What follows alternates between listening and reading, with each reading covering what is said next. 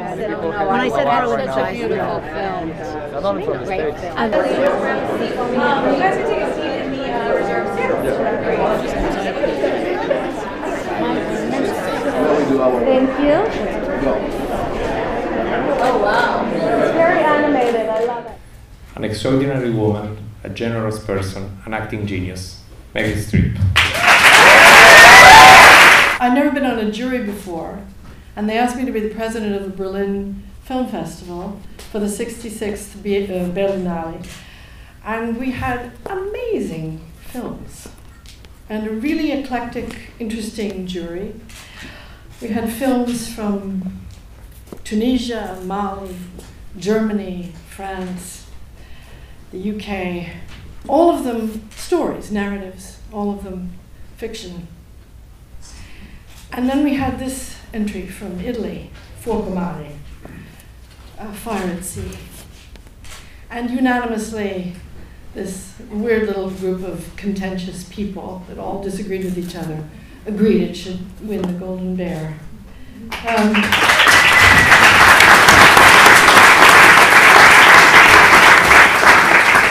because it's something, yes, it's documentary, I guess, but it's also art. I mean, it, it sort of enters just the, the way the truth is arranged, makes it like, makes it sort of like a poem. And I don't mean like a twee kind of poem, I mean something really essential. It, it's unavoidable, like there is providence in the fall of a sparrow.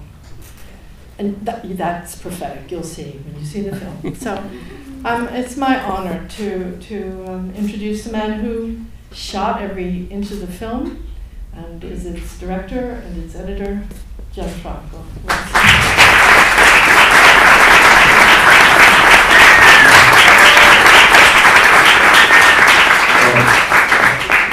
Since Berlin, I never thought I would have again uh, another opportunity to be so close to you. and so intimate Sober. and sober. Yeah. But we have a one wonderful picture that it looks like we are kissing each other. That's not true. We, Not true. we were moving We from were one moving, from one cheek to another cheek, and everybody think we kissed Everybody each other. everybody it's said not true. but it was not true.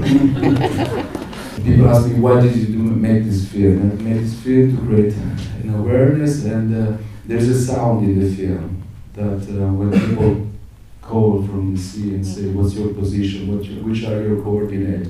This is ego, this desperation of voices saying, "Please help, help, help," and the guy keep asking, "What's your position?" And I want this became almost like a metaphor, especially in this time, you know, where what's your position is very important to acknowledge what's your position. And if 20 people, 30 people comes out from the theater asking themselves, what's my position towards this huge problem, I think then it was worth it to spend one and a half year in this place making this film.